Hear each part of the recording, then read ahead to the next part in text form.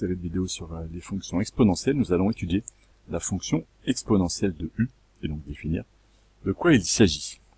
Nous allons nous intéresser à ce qu'on appelle la fonction exponentielle de u, où u détermine une autre fonction. On a donc des fonctions composées, on pourrait dire, c'est-à-dire une fonction où l'exponentielle ne s'applique pas à simplement la variable x, mais à une autre fonction. On va appeler u.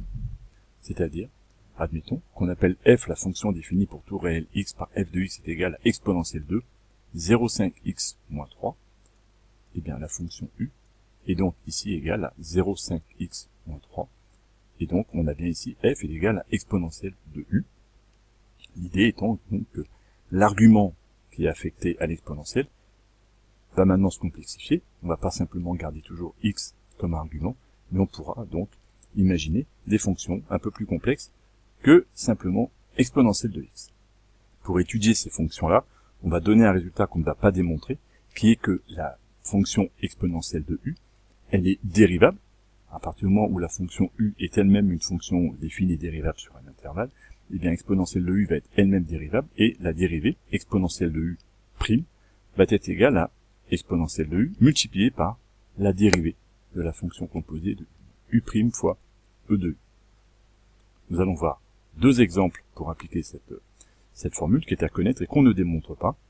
On nous donne par exemple la fonction f définie pour tout réel x de r par f de x égale exponentielle moins x. Essayons de calculer la dérivée de cette fonction. On peut poser dans cette situation u de x est égal à moins x. Et on a bien à ce moment-là f de x est égal à exponentielle de u de x.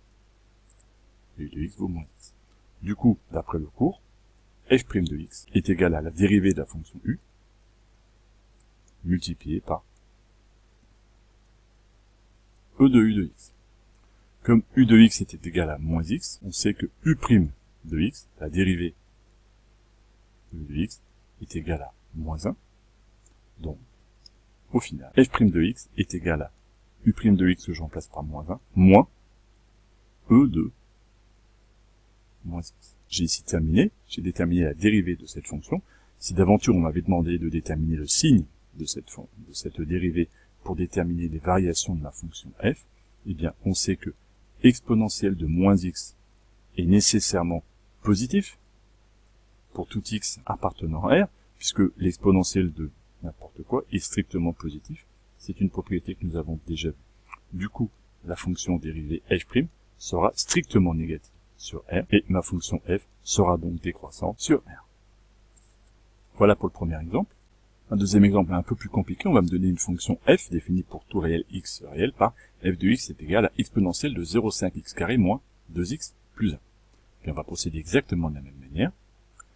Alors à partir de cette situation, on va poser u de x, qui va être la fonction qui est en argument exponentiel, donc 0,5x carré moins 2x plus 1. On peut calculer tout de suite u' de x, cela nous servira plus tard, est égal à x moins 2, comme f de x est égal à exponentielle de u de x, alors, d'après le résultat de cours, f' de x est égal à u' de x fois exponentielle de u de u' de x, on l'a calculé tout à l'heure, il va aller x moins 2. Donc, f' de x est égal à x moins 2, facteur de exponentielle, et attention, c'est bien toute ma fonction u qu'il faut garder en exposant 0,5 x carré moins 2x plus 1, l'exposant, l'argument ne bouge jamais. Cette fonction-là, maintenant, on va la garder ainsi. Pour étudier son signe, on peut le faire rapidement.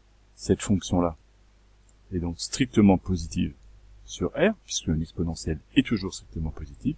Donc f' de x est du signe de x moins 2. Et donc on peut aller vite. La dérivée f' de x s'annule donc en deux.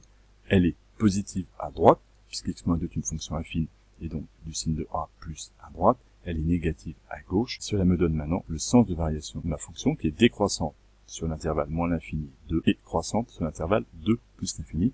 La fonction admet un minimum en 2 que l'on pourrait calculer en remplaçant x par 2 dans la fonction de départ.